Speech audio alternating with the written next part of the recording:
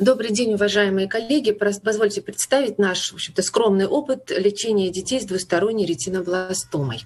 А, двусторонняя ретинобластома встречается в 30-40% случаев. Ну, еще буквально 15 лет назад лечение бинокулярной ретинобластомы начинали с энукляции худшего глаза. Благодаря внедрению в нашей стране методик локальной химиотерапии, суперселективная интерартериальная химиотерапия, интравитреальная химиотерапия, расширились показания к органосохранному лечению.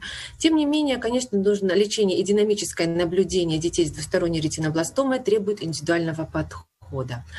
А первый ребенок у нас 2017 года рождения, от второй нормально протекавшей беременности, вторых срочных родов. У мамы еще двое, двое более старший ребенок и младший ребенок, оба э, ребенка здоровы.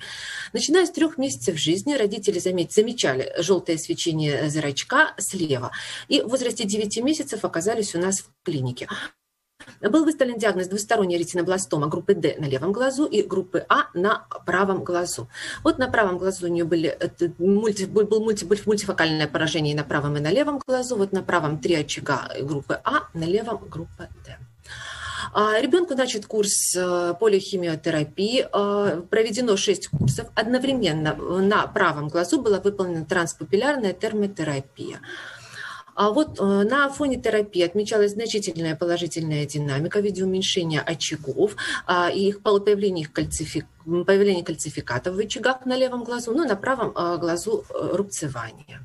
Дальше ребенок наблюдался еще в течение трех месяцев. На левом глазу более локальной терапии никакой ему не проводилось. Отмечался регресс очагов, его кальцификация, отсутствие активной опухоли.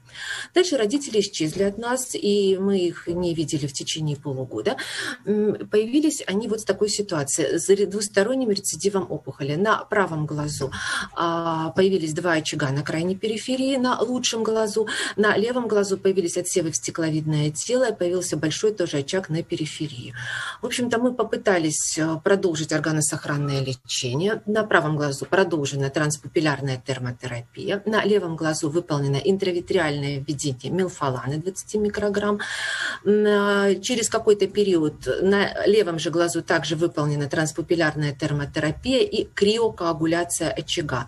Однако, несмотря на вот наши такие попытки, на на все проведенное лечение, при явке через месяц вновь отсева стекловидное тело. И учитывая такое, что родители у нас оказались не очень обязательными и склонны к тому, что они периодически исчезали из поля зрения, приходилось их самостоятельно вызывать, было принято решение об энуклеации одного глаза. Была проведена энуклеация левого глазного яблока на правом глазу э, рубцевания очагов. После этого ребенок наблюдался у нас еще в течение одного года, и дальше продолжаем наблюдать, а пока рецидивов заболевания не выявлено. Второй ребеночек у нас 2018 года рождения, также от первой нормально протекавшей беременности. С первых же недель жизни отмечался нестагм. А ребенок был осмотрен офтальмологом. В возрасте одного месяца а, патологии выявлено не было. В связи с усилением нестагма в 4 месяца ребенок обратился уже к нам в учреждение. И а, мы выявили ретинобластому обоих глаз группы С. При этом на, правом, на левом глазу была также осложненная катаракта и метриаз. Вот так вот выглядели два два больших, глазное дно ребенка в 4 месяца, два больших очага близко локализованные к зрительному нерву, а с, от, с субретинальными отсевами. Вот на оптической когерентной томографии виден один из отсевов, нам удалось заснять. А, вот его а, сонограмма. Ребенку выполнено три курса полихимиотерапии. И через три курса полихимиотерапии выполнена суперселективная а, интерартериальная химиотерапия на левом глазу. И дальше опять продолжен продолжена системная химиотерапия. Вот ребенку 7 месяцев, после трех курсов отмечается значительная положительная динамика, очаги уменьшились в размерах, началась кальцификация. В общем-то, ребенку было продолжено лечение. В дальнейшем были курсы суперселективной химиотерапии на обоих глазах, которые чередовались с системной химиотерапией. Ну и в завершении мы провели локальную термотерапию, локальное лечение, транспапиллярную термотерапию на обоих глазах. Вот так вот это выглядело а, после шести курсов полиохимиотерапии. А, и дальше ребенок продолжал наблюдаться, и через три месяца мы видим появление на худшем глазу одного, дополнительного очага. Ему также выполнена была транспапиллярная термотерапия на этом, этого очага. Дальше ребенок продолжает наблюдаться.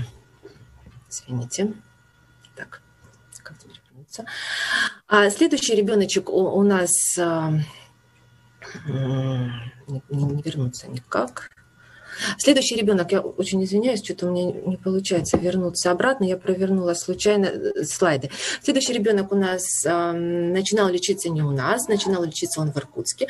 Э, ребенок э, также от первой нормально протекавшей беременности, и в возрасте 4 месяцев родители заметили желтое свечение зрачка, диагностирована ретинобластома группы D на правом глазу и ретинобластома и на левом, и грудеобразного группы С на левом глазу.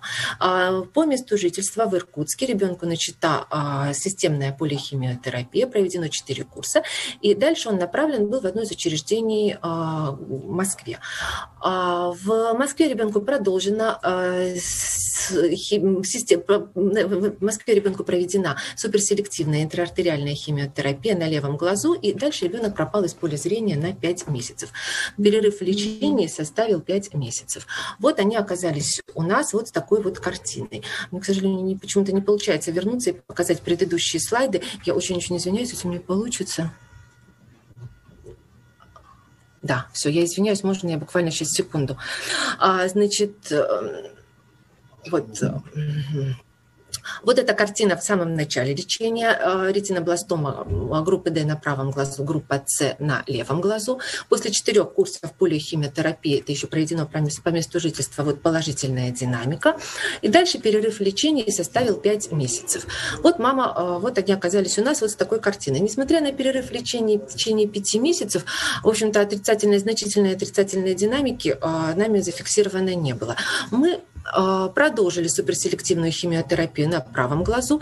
А, следующий курс суперселективной химиотерапии прошел через три месяца. Опять же, это вот связано с такой недисциплинированностью родителей. И повторная транспапилярная также на правом глазу. После а, курса химиотерапии у нас вот на правом глазу образовался птоз. Сейчас, в принципе, наблюдается положительная динамика. Глазная щель открывается, так скажем, все больше и больше, но птоз пока сохраняется. А, вот сейчас картина вот сейчас такая. Мы продолжили транспапиллярную термотерапию вот на левом глазу. Ну и, в общем-то, ребенок этот продолжает у нас наблюдаться. Будем докладывать дальше о результатах его лечения. Таким образом, внедрение методик комбинированного органосохранного лечения позволяет в большинстве случаев не только избежать инуклеации, но и сохранить зрительные функции у детей с двусторонней ретинобластомой. Однако, вот как видно из нашего доклада, нередкие рецидивы требуют продолжительного динамического наблюдения таких пациентов. Спасибо большое за внимание.